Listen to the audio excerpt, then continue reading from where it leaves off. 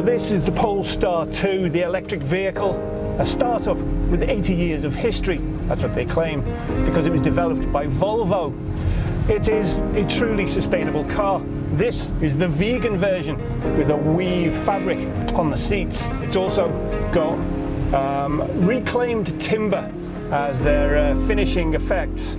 So it does have its heart in sustainability. It's got great AC, the, the sunroof, which is the full length of the car, is surprisingly cool. I was expecting for the sun to be beating down. The UAE is no place for a sunroof. I know that sounds crazy, but and this is shaded. It must have some sort of a, uh, a film on it to uh, to protect it from the sun.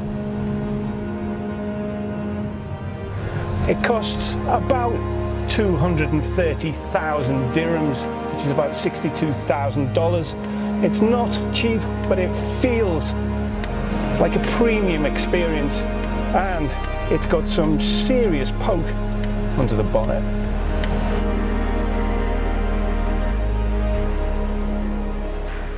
This is the Polestar 2 Performance Pack and here are five things that will make you want to buy this car. We start at the front with a pixel LED light controlled by the camera.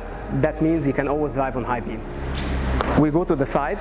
We have the uh, Swedish gold all over the car. So we have the calipers, valve cap, and the seat belts. Three, we have ventilated seats with uh, a vegan option uh, with WeaveTech technology. Four, the infotainment is designed and built by Google. That means you get Google Maps built in, Google Assist, Google Play Store, and it will have its own SIM card.